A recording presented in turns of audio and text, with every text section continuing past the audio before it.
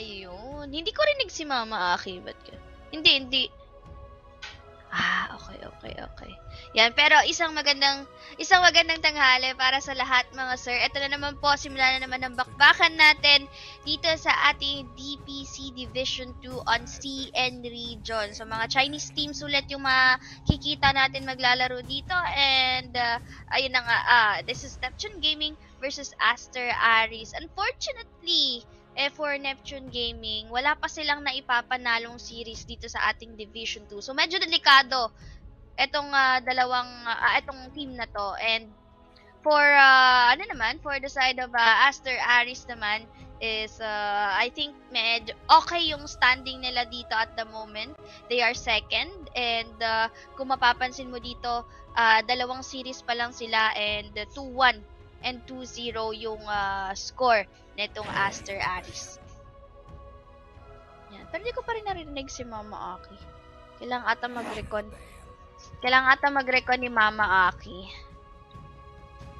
Yan na nga. So, habang nagre-recon si Mama Aki, ako po muna ang mga kasama nyo for this draft. Simulan na natin dito. Aster, Aris, Getting That IO, and Night Stalker. Sa kabila naman dito, for Neptune Gaming naman, kinuha nila dito yung Mars, and then the Lion, and they have ban out yung MK Weaver. Ito yung usual na nakikita ko binaban talaga ng Neptune Gaming, as is, laging ganyan.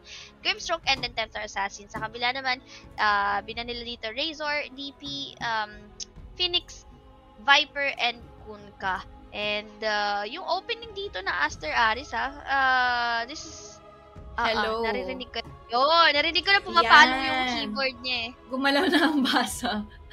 What's up mga sir? Ayan, okay. So Neptune Gaming versus Aster Aris. Tita Casey, yeah, medyo excited ako dito sa series natin dahil maglalaro dito si White Album. Oo, yung bagong Yeah. bagong team niya. And for Neptune Gaming, kailangan nilang bumawi dito sa series na to. It's now or never para sa kanila. Kasi hindi pa nga sila nananalo ng kahit isang ah, series. So, dapat um, mindful sila dito na dapat manalo sila. 'Di ba? Kasi Mm-mm. hirap humabol eh. If mapasi 0-5 ka, ilan na lang? Dalawang Lugmok series ka na. Oo, Oo. dalawang series na lang yung lalaroin mo after. And ang hirap na bumawi nun. I think talagang nasa delikado na sila if di sila manalo dito sa ah, series natin for today. Yun nga. And, uh, oo, wala pa rin pala si, ano, si White Album. Nakastand din pa si Phoenix kasi naka-isolate pa si White Album. Pero siya yung nasa Liquipedia na player na naka-register na player for Aster Ari. So, Tita Casey, hindi naman din Neptune Gaming lang kasi yung nasa lugmok dito. Na pati yung C-Deck. Diba sila Xiaofu. So, same sila 0-4 ang C-Deck. Kulang pa sila sa games. While Neptune Gaming 0-8. So, tignan natin 0-8 kung... nga sila. ah, oo, kung makakabawi ba ang ah, Neptune Gaming kasi parang individually tong players na to, meron naman silang ano eh, meron naman silang experience na kahit sila eh. paano. Oo. True. Ang Ayan, mga shout out kay lang, Boss James Gonzalez. Hello boss ah, James. ano yan. Casey? Dota kami kagabi. Panalo ata kami. No? Ay, sana Shoutout kay. Boss James. Ayan. Pero Boss anyway, yun James, nga. birthday ko na bukas! Ay, grabe naman. Sa pa-birthday. Wala ba tayo dyan? Sorry, kanina pa kita nakakat. No? Pero eto na. Ano nang pagganap, Tita Casey?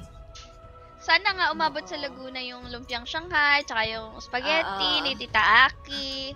'Di ba? Yan, pero ayun na nga, Aster Aris getting the OD. And then the Ogre Magi, no? Malalang kung makakita yung mga gantong magkakasamang heroes. But tignan natin for Mm. Aster Aris kung paano nila to i-work out. For Neptune Gaming naman, ito yung usual na nakikita ko, di ba? And the ah, ah, Mars and then the Lion magkasama sa lane. And then the safe pick, Queen of Pain, since syempre, may ah, may OD and Queen of Pain yung isa sa mga kayang makatapat sa OD because of the blink, di ba? And uh, Undying naman, of course, this is a Night Stalker. So, gusto mong staka ng staka ng ah, Mm. ano yan, um, uh, what they call this, decay. Pero ayun nga lang kasi may sustain kasi coming from IO. Yan, tingnan natin kung ano magiging carry ng Neptune Gaming dito with that IO and uh, Night Stalker na katapat. Yes. Medyo interesting din, Casey, dahil lumalabas na paunti-unti si OD. Though, hindi ganun kataas yung win rate kasi ni OD eh, no? So, Mhm. tignan natin kung paano nga ipo-pull off ng Aster Aris. So guys, mukhang baliktad yata yung ano, yung odds natin kasi imposible naman na times 9 ng Aster Aris sila ang nasa pangalawa sa ano sa standings. Nabaligtad lang yan ni Direk. So, aayusin nila yan. So, makikita nyo sa inyong mga screens nga. Medyo hindi maganda ang ads. Kung kumbaga, piso mo, wala rin babalik sa'yo eh. Assist lang ang balik sa'yo niyan, Casey. Oo. Yup. Pero nabaligtad lang nila direct yan, guys. Yan. But, yun nga, Ursa, uh, last pick for Neptune Gaming. Uh, I think okay lang yan for the side of Neptune Gaming since nakita nila may Juggernaut. Yan ang uh, natural counter ng, uh, ng Juggernaut.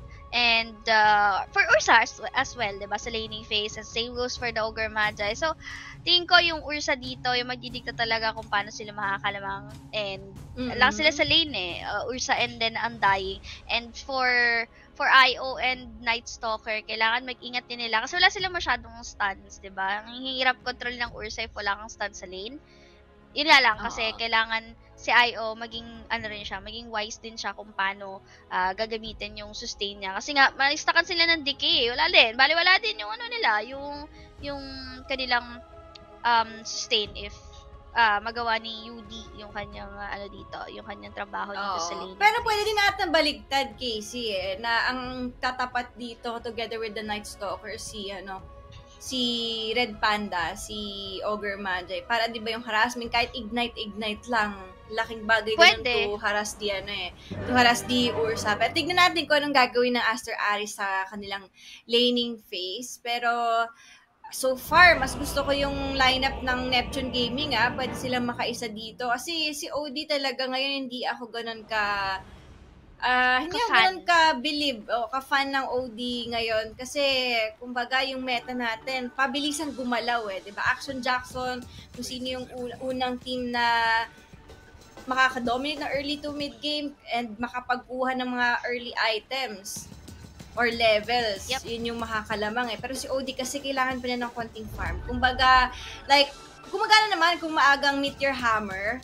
Pero that will matter kung maaga rin ba siya makakapag boots of travel, di ba? Yun ang Totoo. kadalasang binubuo kay, ano eh, binubuo kay OD ngayon. Pero pakilala muna natin ah, Tita Casey on the Radiant side, Neptune Gaming, AEAE, sa kanyang Mars Fonte on the Ursa Guogo, on the Undying Hui Hui, sa Lion at si Ichen, ang Queen of Pain. Ayan, for the side of uh, Sir R7, we have Ulu on Juggernaut, Phoenix on Outward Devo- Destroyer, uh, si Night Stalker naman, si TK on Io, and Red Panda on Ogre Madshai. mm Teka, saan na tayo manonood? Oo, hindi na rin stand-in si Nevermind dito, guys. So, tignan natin kung ano bang ah, trip nila dito. Well, iba, iba iba pala eh. Feeling mo ba, direct, papasok pa si White Album dito? Ang ano kasi, parang very high caliber na si si ano eh, si White Album since nakapag-TI nga siya dito. But tingnan natin kung saan siya pupunta, kung tutuloy nga ba siya sa Aster Aris. Oo. Ah, tinext sa'yo. Oo. Tinext pala kay Derek. Oo, nasa Weibo daw guys. So, mga January babalik si White Album dahil naka-quarantine pa. Oo, kasabay ng Division 1. So, eto na nga, Tita Mm. Casey. Queen of Pain and OD. Okay. Queen of Pain and OD, of course, um, medyo mahirapan si Queen of Pain kumuha ng last hits dyan because of uh, the astral uh, uh, imprisonment. But, ayun nga, kailangan, ang, kaya kinuha dito ni, ano, ni Queen of Pain, first kill would be the Scream. So, di ka naman makakapagbitaw ng, ng ano dyan eh, Shadow Poison, ng ganun ka. You need to secure yung uh, last hits, mo Last this hits, early. oo. Kasi pag tumaas yung level dito ni Phoenix, mahihirapan na siya, ah, mahihirapan na si Queen of Pain lumasit talaga. Yan. Yung mga ganyan first few Mm. levels, lamang pa si Queen of Pain Naku. dun eh. Pero, Ah. yun nga. Pag mga level 5 siguro mararamdaman ni Queen of Pain kung gano'ng kahassle yung astral Mm. imprisonment. Yep. Pero top lane the tayo top dito, lane. Mars. Oo, 'di ba? Ganun nga yung ah, ginawa din nila dito. Tita Casey, no? It's uh, Ursa. Ay, kaso hindi pala. It's uh, Night Stalker and IO pa rin. So, hindi ganun mahaharas yung si Ursa dito. We can expect na makakapag-farm ng maayos yung Ursa sa bottom lane. Yeah. Pero kasi kung isipin mo, parang much better if lagay na lang nila si Io kay Night Stalker para makapag-sustain. Kasi unang-una, na-counter out nga ni Ursa and si Ogre, isama dun parang nakakapag-ignite siya pero hindi siya makakapalo kay Ursa, masasabayan siya dito ni Oo. Ursa. eh. So, ganito na lang gagawin nila. Pero masakit tong lane na to ah. Um, Mm. Mars and then the Lion, even though meron kang Blade Fury dito, you need to be careful kung kailan ka magpa-pop ng Blade Fury. May chain Kasi eh. pag Oo. Oo, balik ka, mali ka dito ng pop ng Blade Fury. Uh, you're good as dead dito sa lane na to.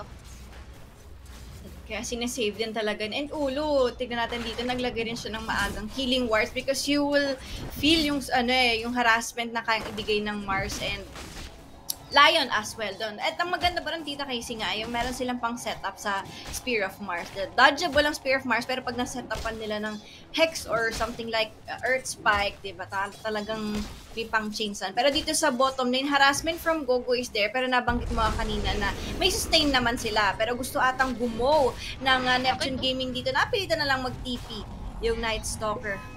And sa ang sakit sakit eh. indeed. Nagbaba pa ng tombstone.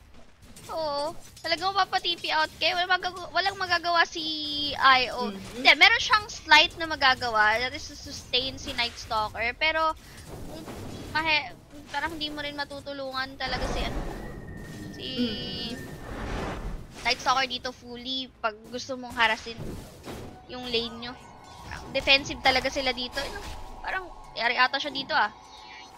Yep. Ay, si IO And, uh, naligaw lang ng konti, 'di ba? Si Ursa kasi Casey isa yan sa mga ano eh, sa mga carries talaga na kayang mambugbog ng offlaner, 'di ba? Ang mga offlaner na meta ngayon is yung mga yung mga something like Tide Hunter, Mars, 'di ba? Yung malalaki talaga yung armor and ang magandang pang counter dyan is yung mga carries talaga na nagsastack yung right click, something like Monkey King, Ursa, Yes. Ayan, so doon nag excel tong mga heroes na to. So, good pick nga tong Ursa na to for ano, for Neptune Gaming. Pero so far, ah, hindi, hindi pa naman din nakakakuha ng kills ang ah, both team dito. Talagang Secure lang talaga ng lane. Yappy. And uh, for this one, wala pa rin first blood, Mama Aki. So, uh, nakaka-surprise. Pero ito na ata potential first blood natin, mga sir. Potential for first blood. May tether. Ano ko po, hindi mahanap and TK going down. Si Gogo pa nga yung nakakuha ng kill dito on the other side, Fonte. Stacking up the right clicks para dito sa Night Stalker. Ang sakit talaga, Kuya Eddie. Totoo. Mga right clicks dito. Kahit wala silang stun, walang ano eh, walang walang kaso for Neptune Gaming sa bottom lane. Yeah, and tinatry nila din kasi ano, tinatry din nilang um, harasin talaga itong si Ursa plus si Undyne but it's just so hard to uh, get these heroes na ma- lumapit ka talaga eh. Pag lumapit ka, Mhm. uubos talaga yung buhay mo. So, uh, might as well si you, ano siguro, si IO, um, pwede siyang mag-stack dito at least or help other lanes. Yep. Grabe ah. Kasi Mukhang maganda ang start ng ano. Maganda ang start ng Neptune Gaming Tita Neptune, Casey. And yes. Ulo dito committing out yung kanyang Blade Fury. Hindi na Nice mabubuhay si Weiwei dito. Pero mukhang ah, mas nice ata ang makuha. Pwede lang makuha. Dito na Spear pa nga. On the very last second na makakatipi na si Ulo dito. Diba? Does this hurt? Parang di, oo, di ata naging worth it yun para kaya na, para Mm, kay uh, sobra. Juggernaut.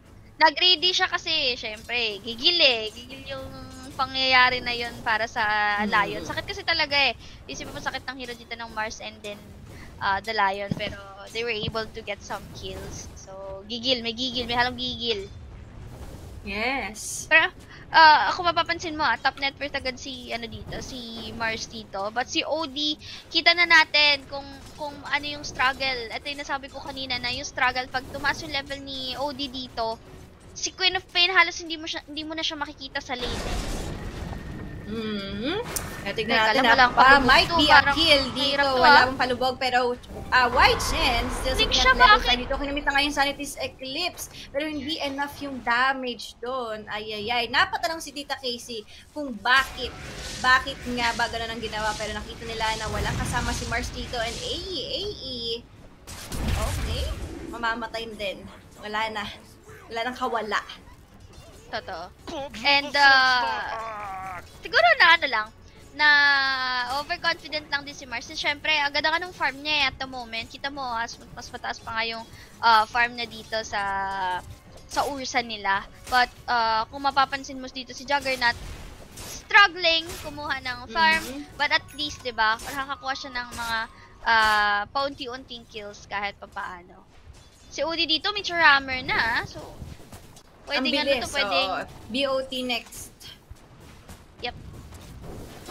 Hmm. Ito yung sasabi mo kanina, di ba? Pag hindi nakuha ni OD na maaga yung mga, ah, yung dalawang, ano yan, dalawang item na yan, doon natin hindi masyado nakikita yung impact na ni OD. Kasi syempre, nasabay siya sa farm dito ni Juggernaut. Pero if Ah. maaga naman niya makuha yan, as in every makakabigay fight, ng laging space. present. Mm-mm. Oo, laging Mhm. present to si ano si OD. So, yun yung Yes. parang kailangan mag-ingat ng ng Neptune Gaming dito later. Kasi nanalo nanalo sila ngayon sa lane. Pero what about later? Yeah. I do agree with you. Pero yun nga lang, kasi nakomit ni OD kanina yung kanyang Sanity Eclipse. And we all know na ang tagal ng cooldown niyan, Tita Casey. eh. So, overall naman, for Aster Aris, yun lang naman yung pinakamatagal na, na, na ultimate na hihintay nila dito. Pero that that's a very big ultimate kasi, di ba? Yung damage na pwede i-provide ng Sanity's Eclipse. Kung maka-free hit si Phoenix dito, pero dito sa may uh, rune area, at sa mukhang possible kill na naman Red Panda getting this double damage yun, pero kapalit naman yan, buhay ni Ogre Magi. That's a four-man commitment from uh, Neptune Gaming. Hindi naman sila Dami galit. ah. Ang dami nag-react doon ah. Parang nakakaawa si Nakakaawa naman si Ogre Magi doon. Anyway, yun Wawa. nga. Um, Mhm. Oo, kawawa talaga. And yung rotations, well, hindi ganun naging sulit para sa side ng uh, Neptune. But at least they got a kill. Yun nga lang, support nga lang yun. So, ito yung parang kailangan i-take advantage ng Nep, ah, ng ano, ng tawag ito, ah, ng side ng Aster Aris. Doon sa um, Yes. possible na space na ma-create nila. Mm, Pero it's night time, ah, Tita Casey, no? Ito din kasi yung factor. Lahat, kumbaga, ng ah, heroes ng Aster Aris, meron silang timing eh, di ba? Kumbaga, Night Stalker, nighttime siya, ano eh, nighttime yung kanyang power spike. And medyo matagal din yung ano, hindi naman ganun katagal pala. Pero, I forgot kung ilan ang cooldown nung ano eh, nung Dark Ascension. Kaso dun kasi magre-revolve yung kanilang team fight eh. Kung tuusin, ano din talaga sila, ah, ultimate dependent din ng Aster Aris. Pero it might depend sa kanilang items mamaya dito. Pero for Neptune Gaming, ito na nga ang sinasabi natin, nira-run and gun na nila ang Aster Aris Red Panda. And pansin mo kasi nagsasama-sama na sila eh, ba? Apat, tatlong heroes from Neptune Gaming talagang nagko-commit na kahit ila- isang kill pa yan. And this early game, sobrang halaga ng mga small kills na yan eh. Yapi, tama ka dyan, Mama Aki. Small kills, uh, kahit na sabihin natin na sports or uh, ayun nga mga supports lang makuha dito at least 'di ba yung ano yung uh, leeway para sa mga course makapag uh, focus sa farm instead okay na yun eh sa support yung makuha 'di ba na para lang din hindi ma-focus yung attention ng kalaban mo sa sa mga cores but 5 and 2 yung score natin dito less than 1k gold lead para sa side ng uh, Neptune Gaming so far is uh, nagiging maganda yung farms dito ng uh, Neptune Gaming. They need to Mhm. do so kasi nga nasabi ko kanina kailangan nilang bumawi ng series talaga. Dahil 0-8 na ang Neptune Gaming. Baka, oo. Mhm. Baka isa Dito sila sa mga. Mhm. Baka ito na yung chance nila. Yes, and hindi rin basta-basta kasi yung team na tatalo nila if ever, 'di ba? This is Aster Aris na pangalawa sa standing natin dito, no, 4-1. So, isang beses pa lang sila natatalo. Kumbaga, wala pa silang tinatalong series. Series. Pero Ano ba, isang game, game, lang ang sila. talo nila. Mhm. Yep. Correct. Okay, ang dami palang stock ni IO dito ah. They need to be careful dahil lang ah, Neptune Gaming pag naspatan nila yan. Talaga naman. May pangkuha din sila kahit paano ng ano eh, ng mga stocks. Though hindi mabilis, pero yung Tombstone, di ba, sobrang chaotic nung magiging clash dito if ever malaman ng Neptune Gaming yung stocks na meron sila. Pero so far, wala ring vision yung ano eh, yung side ng Neptune Gaming. Ito yung kulang sa dalawang support sila. Jason is the Undying and Lion na nagstay kasi sa ano eh, nagstay sa lane or Sa either lane. sumasama kay Mars or Queen of Pain na magko-commit sa mid lane or sa sa top lane. Actually, hindi na nila masyadong ginugutong bottom lane eh. And yun yung medyo nakulang sila, 'di ba? Mag-scout ng stacks dito sa side ng Aster Aris. Yappy. Siguro talagang finocus na lang nila yung laning phase and naging maganda naman. But the problem i- here is nakakabawi kasi yung ano dito, yung side ng Aster Aris dito, dun sa stacks na pinaprovide dito ng mga support, diba? As you can see, si OD dito halos kaparehas na ng network. Actually, lahat sila. Maganda yung network dito, both teams. Ogre na naman ang Si taya. Chen, kanina pa to nang kikill secured. Pansin ko lang naman. Kawawa naman. pag may supports lagi siyang nandun eh, present. Binibigay talaga sa kanya yung ano, yung kills. And, uh, di ba, yun yung teamwork ng Neptune Gaming. Alam nila na hindi mag- naging maganda yung lane ni White dito. Kasi pansin ko yun eh, na yung kills dito sa sa may rune area, binigay na lang eh. Apat silang nandun pero ang nakasecure pa rin si White Chen. Kaya ilang beses na ulit yun na sa kanya binibigay yung mga kills para din makahabol siya dito sa timing ng Ah. isang OD. Totoo. And uh, kailangan talaga nilang habulin yung OD na yan kasi uh, imagine that we are, you have um, OD and uh, IO na magkasama, di ba? Effective Ayun, tumalo na nga. Meaning of OD. Ayun, Ay, burado. ay, Aking burado ay, na. Burado nga. Na-burst daw nga ito. Nabingi na. Na finger of death pa. And si Red Panda na naman. Kanina pa nila pinupood trip itong Ogre Magic. Ito medyo, medyo, medyo malalim na yata ang Neptune Gaming. Though, they need to be careful dahil 2 minutes to go. Magda-night time na ulit. Pwede nga na yung maging bawi ng Aster Eyes. Di ba? Kasi hindi pa natin feel yung ambag, kumbaga, ng Night Stalker eh. Yapi, tama ka dyan. And uh, for uh, Night Stalker, hindi naman kasi ganitong daytime. Hindi naman, di ba kikilo si Night Stalker ng ganyan. And Night Stalker, isa sa mga offlane na kailangan pa niya ng at least isang item bago siya lumaban talaga. Hindi hindi siya yung, well, malakas siya if nighttime. Diba? Pero ganitong daytime, you expect na Night Stalker magpa-farm. Sasabay lang din talaga sa farm ng uh, kapwa core niya, di ba? Parang tatlo silang farmer kahit pa paano kung makailangan nila ng items at uh, ultimate. Pero tignan natin, may nahuli nga. It's Gogo the Undying. Medyo, ano na lang yung consolation for Aster Aris. But slowly, Uy. slowly but surely, mukhang ano ah. Talaga? ah, sa secure Talaga ng ba? Neptune Gaming na maaga. And talaga ba?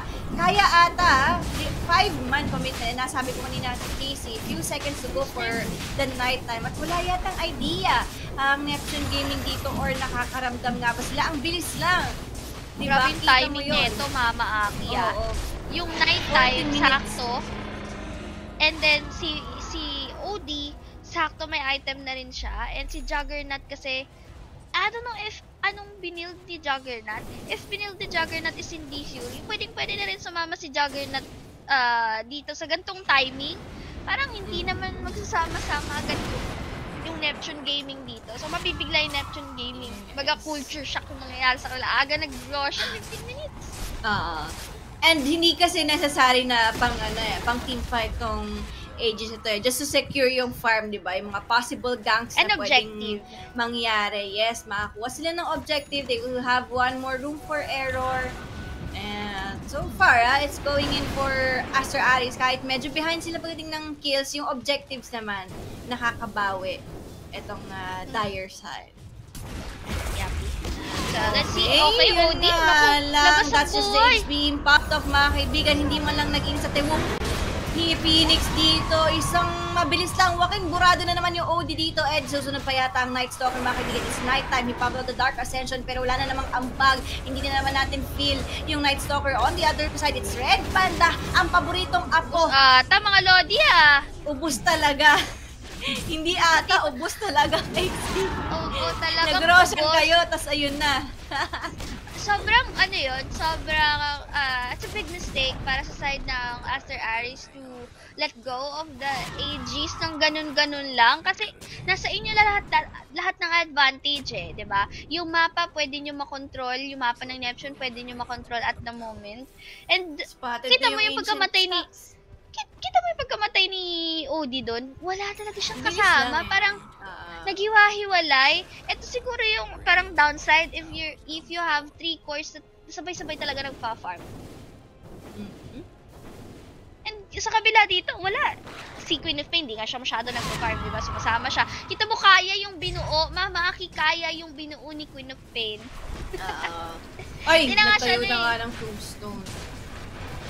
Ay, hirap. Spotted. Nakuha. Napakarami nito, boss.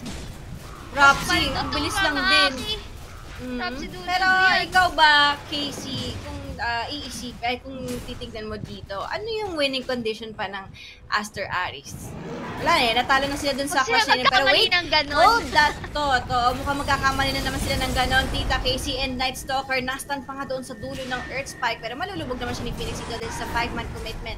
Once again, and nagkaka ambahan lang yung both teams dito sa may triangle area and this Night Stalker trying to go for way way dito. It's the Lion pero meron merong vision sila dito eh with this eye. Oh, tignan natin, dalawang magkahiwalay na clash but Pogo the undying dito keeps on sustaining his teammates sa may gilid. It's a Queen of Pain na mabibigyan nila White Chen going down. Hahabol pa yata ang Aster Alice dito. Night Stalker looking for more victim dahil it's nighttime. Ito yung kanilang power spike. Kumbaga, and kinumit na nga yung ah, arena of play dito but just the right time. Ulo, makakapagpapot siya ng kanyang ah, Blade Fury dito plus nalubog pa. This might be another setup. Okay, makukuha nga ba nila yung kill pero Mars is way too tanky. Medyo nagtitake sila ng time para patayin yung isang Mars ito. But still, for Aster Alice, magandang bawi na yun eh. Na napatay nila yung Queen of Pain. At saka masyado nang pilit yung ginagawa nila if they want to kill yung Mars. Dahil ang lapit-lapit na sa towers nung anong yun, nung team fight na yun, and pwede pang ma-turn around yun ng ah, Neptune Gaming if tinuloy pa nilang i-chase itong si Mars na napakakunat. Diba? So might as well, if makuha, nakuha naman na nila si, si Queen of Pain, diba? That's enough. Diba? Nabawi. Para dito sa... Actually, hindi naman sobrang bawi. At least they got a kill sa core dito sa side ng Neptune Gaming. Pero yung ganun, hindi pa nakakabawi talaga. Parang major loss kanina yung pagkawala ng AGs and pagka-wipe out Yes. dito ng Aster Alley. So, need to- they need to bounce back in terms of net worth as well. Kasi si, kung mapapansin mo, si Night Stalker, medyo nahuhuli na rin siya sa farm and hindi yan yung gusto mo sa isang Night Stalker na na offlane din eh. Kailangan mo rin sumabay sa farm at the same Uy, time. Naku! Pinupay na naman! Casey! Lima na naman sila dito nag-commit sa top lane. It's White Chen going down for the second time around. And tignan natin, it's uh, the Undying trying to run for his life. Pero limang heroes yung humahabol sa kanya dito sa may top lane. This might be too deep for Aster Alice. Pero ginamitan naman yung Sanity sa Eclipse ito. Ang pulat nga ng mukhain. Ayan na nga. Auto ulo. Pero makapag-blade yun naman siya. Phoenix na out of position lang din yung OD. And he will finally fall down. And Neptune Gaming on the other side, may mahuhuli pa nga ta. It's uh, TK yung IO, so good naman din na yung kapalit ng Queen of Pain dito. Namatay rin naman yung OD plus may bonus pang IO. Actually, lumamang talaga dun yung, ano, yung Neptune Gaming sa ginawa ng ah, Aster Aris. There's so many mistakes na ginagawa dito ng, ano, ng Aster Aris sa parang, okay, you got a Queen of Pain once again. Sobrang laking factor nun kasi kakabuhay lang ng Queen of Pain and uh, hindi na naman, wala naman siyang, wala na naman siyang impact na magagawa ah, sa loob ng ilang segundo, di ba? Pero, you have, do you have to chase the undying na napakakunat na naka-ulti and by first tower pa dun sa ano sa side ng Neptune niya. Hirap eh. Mistake talaga yan para sa side ng Aster. This is why they are losing. And dapat yun yung mga iwasan nila mamaya kung kung ayaw nilang magtuloy-tuloy yung kalamangan dito ng, ng Neptune Gaming. Kasi sa ngayon, nakakasabay pa si Jag, nakakasabay pa si OD sa farm. Pero what if paulit-ulit na ganun yung mangyari sa team fight ng side, sa side ng Aster Alice? Malulubog sila dito sa net worth and hindi sila makakabawi. Ah. Pero, uh, on the brighter side dito, well, sa mga nag-bet dyan sa Aster Aris, nakaka-farm naman si Juggernaut eh, di ba? Meron naman siyang Yep. decent network sabay tignan siya. natin, Phoenix, mamamatay nga ba? Uy, nakalubog niya yung sarili niya dito and this might be a reset for uh, Aster Aris. Nakapag 4 stop pa. So, buhay yung uh, Cody dito with a sustain pa ng IO. And tignan natin, magre-reset lang siguro muna ang Neptune Gaming. They can go for this tier 2 tower. And on the other side, Casey, na yung sinasabi ko nga na nakakapag-farm naman yung Juggernaut. So, uh, kahit ganito na nasa stump yung Aster Aris, ito yung pwede nilang maging saving grace at winning condi- condition Saving eh, grace, si ano si Juggernaut. Pero Fonte sa na killing spree na Ursa. Naku, Ganda ang rin ng paborito item ka niya na naman si Red Panda. Okay, siya na naman ang nasa setupan dito. Napalubog, though we, we know the intention. The intention ni Phoenix na i-save siya. Pero wala, eh, ganun talaga ang pangit ng pwesto and ang daming disabled sa nag-aabang pagkalabas mo doon sa Astral. Totoo. And yung Soul Rip din yung pumatay sa kanya doon. So, again, Ah. for uh, Neptune Gaming, ang ganda ng pinapakita nila dito, game uh, number 1, parang di natin ramdam na na 0-8 yung Neptune Gaming. Ganun Yun nararamdaman ko sa eh. kanila. And that's a good thing. 'Di ba? Kasi, Baka ito na. Ay, Ito hindi na sila, na ano, hindi yes, hindi sila nade-demoralize dun sa nangyari sa kanila na 0-8. 'di ba? Pero they need to be careful as well kasi hindi pa naman tapos yung laban. 22 minutes pa Hindi lang pa naman yung tapos. laban natin. Yuppie. Oh, marami pang pwedeng mangyari. Pero Dark Ascension dito, tignan natin may lumilipad na Night Stalker dito, just giving out a vision. Pero ulo dito sa may gilid, hindi din tumama yung stun ni Wei Wei dito. But Red Panda, and speaking of stun, it will be given on to Bobo. But there's etong kanyang sustain, hindi yata kaya yung sustain. Pero may sinigawan nga sa gilid, walang mamamatay. Sa side ng Aster Aris dito, it is the Tombstone kuha ng uh, Aster Aris dito, they might want to go for more. They might chase Uy! heroes ng Neptune Gaming or transition na lang into a tower push pa dito sa bottom lane. Tuloy-tuloy na nila hanggang second ano, tower. Pwedeng ganun yung gawin nila dito. Since lima na silang nag-commit eh. Might as well get something out of it. Or push siguro yung mid lane. Pwede. And this is the timing they have been waiting for para sa side ng uh, Aster Aris, yung BKB talaga ni Night Stalker. Kasi si Night Stalker yung magsusoak ng lahat ng damage dito ng Neptune Gaming. And if wala siyang BKB, madali siyang mamamatay, madali mo-focus yung ibang hero dito. Na, na may BKB na siya, pwede niya, pwede niya sugurin kahit sino dito uh, sa side ng Neptune Gaming. Even si Ursa, medyo tatagal na siya sa, sa, ano, sa um, sa Ursa kahit makipag uh, mano-mano siya doon kay, kay Ursa. Diba? BKB is a must para sa mga cores dito talaga ng sa dalawang core dito ng Aster Aris. Si Odi, kita mo kanina, di ba? Isang stun lang. Wala, tutulog na talaga, tulog mahimbing talaga. So, dapat BKB talaga, yun yung right timing nila. For Juggernaut naman, I think Skadi yung maganda na item para sa kanya dito later. Oh, pero Weiwei ah, mag-isa lang yung lion dito. Ang tapang ng akum. Eh, may tipi na pala. Si Huiwei. Ay, nakita ka! I got you! Kita ka, Balbon. Pwede pa siyang salubungin dito. Pero, let's see. Isip nila, baka bait lang tong ano eh, si Lion eh. Pero ang tapang ha. Grabe naman si... Grabing Lion to ha. Lion, baka lion yan. Kala mo Dahil ano eh, kala mo tangki eh, no? Oo. Dagger naman siya eh. Hindi time pwede naman siya makawala. Mm-mm. Okay, 15-6 ang score natin. Though, kita mo, ganito yung, ganito kalaking discrepancy in terms of kills, Casey. Pero yung network lead ng Neptune, hindi Dikit tumataas eh. It's still wa, Yes. around 1 to 2K because of the juggernaut na nakakahabol. And tig natin, Aster Aris, may hahabulin sila. It's the Undying. Masispatan nila on the top lane. And Another bonus skill na naman. Unti-unti. Slowly but surely for Aster Aris, makakabawi nga ba sila for this one. And spotted pa nila si Weiwei dito. There's AE, AE, ang Mars. Mars pa utang pero bigyan din power para kay Night Stalker dito. May numbers ng panga nasigawan and it's Weiwei. The Lion going down. Pero yung Mars, ang sakit ng right click ng Night Stalker dito. Wala na siyang kahit anong maibibigay. KC, 3-man down pa for Neptune Gaming. And ito, another Roshan na mabilis. Merong medallion yung ano, yung Ogre Magi. Pero, patay pa kasi siya eh. Kasi nasa kanya yung medallion. Pero hindi nila kailangan. medallion. They have the enough damage to take down this Roshan just like that. And nasa kanila na yung lead, Casey. Yapi, alam mo yung parang pinagkaiba nitong dalawang team na to. Aster Aris, alam nila kung paano yung timing ng heroes nila.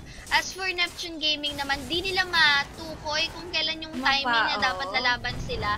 Well, malamang sila, kita natin talaga. Nasabi natin, di ba, sa mga past games ng Neptune Gaming, kita natin na meron talagang ibubuga yung Neptune Gaming. It's just that, they don't, siguro they don't know nga yung timing na kung dapat kailan sila lalaban. Like, katulad ngayon, di ba? Uh, And you speaking of laban, Yan, Okay, nila Red si- Panda. Ang paboritong apo. Ah, paboritong apo. Kanina pa yan eh. Kumbaga, kakagising lang pinatulog na naman yung Ogre Magi. Oh, pinalo na naman ng Lola. At pinapatulog Okay. na naman. Ako yung Juggernaut, Casey, kailangan niya mag-ingat dito. Ah. Mag-isa lang siya dito sa bottom lane and it's four heroes ng Neptune Gaming ang nakaabang sa kanya. But, speaking of abang, meron palang nag-aabang dito sa gilid. It's Aster Aris. It's might, might be all part of the plan. Napitas pa nila Yeah. yung, ah, Lion, but tignan natin, meron na namang ambahan na nangyayari. Uy, kinakalmot. And PK, nalubog nga lang dito, pero tignan natin, might be a setup once again. Nakakatether ba? Hindi na, nakatether Hindi out na nga si mag-tether. TKIO will fall down, pero ito na nga may basher na available for Cool dito and Fonte popping out the enrage and pwedeng uh, i-hide oh. out lang kasi ng Team Aristo and ganun na nga yung ginagawa nila. Dark Ascension will be popped off and Queen of Pain hasali na nga sa laban ba? Pero nag-cancel siya ng TP. Mas pipili na lang niya mag-push ng top lane dito pero Ay, Fonte grabe yun. BKB defensively na gamit. Okay. Oo, gusto ko yung ginawa ni, ano, dito, ni Night Stalker dito. Talagang pinilit niya kabulin si Ursa Mhm. to force the BKB. And in that way, hindi masasayang yung Dark Ascension dito ni Night Stalker. And kung mapapansin mo dito, mas tataas yung chance na maging matapang dito yung Aster Aris because of that uh, forced BKB onto that uh, Ursa. Diba? Alam nila, ang daling i-kite ni Ursa if walang BKB. Nakita mo naman yung ginagawa kanina, di ba, ng tatlong core ng uh, Aster Aris. And kita mo, si Fontaine, na- nakaka-dominate siya, pero kailangan medyo lumayo siya dito sa ano, sa mga pwedeng kumite sa kanya like this one. OD and then Kasi yung Juggernaut kasi, nasabi mo kanina kailangan ng BKB ni Fonte. But with this item na meron si Juggernaut, diba? Merong, ang laki ng possibility na ma-bash siya dito or or what. So, mababaliwala lang din yung BKB na meron si ano eh, si Ursa eh. But we will see. Dumikit na nga yung laban natin kanina from a single digit score sa Aster Aris. 19-12 na yung score natin, mga kaibigan. And meron pa silang 1k gold lead. Yun lang. AC. Yeah, Yung jogger na talaga nagbubuhat. Yapi. Ah, actually, alas lahat kaya magbuhat dito sa side ng ah, ng Aster Aris. Kanina nasabi natin, diba, tatlo kasing ano eh, nagfa-farm tong core nila. And ah, mapapansin mo, nagpi-paid off para sa kanila. Pero uy, naku, bukita mo naman oh. Laban! Laban ang suntukan pero tignan natin, ginamit na nga rin dito yung shook, shook, shook Ragers ni Ulo pero wala siyang katakot-takot dito. Blade Fury is there pero wait, wait, yung Lion wala rin nagawa. The Ring of Blood is there pero mukhang tinrap niya lang yung sarili niya sa loob and AE, AE, the Mars will go down. Ako po, hindi na talaga nakompleto yung side ng Neptune Gaming. And kita mo yung damage niya dun sa Ursa.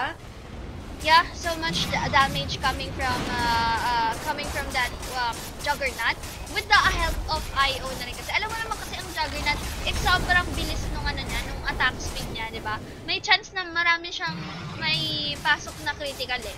'Di ba? Yun yung third skill niya. So kita natin dito, pagkamali ng isang beses, dalawang beses yung uh, Neptune Gaming sa Team 5. Basta ma- si Fonte kasi nagdo-dominating sa... May ano eh. pa.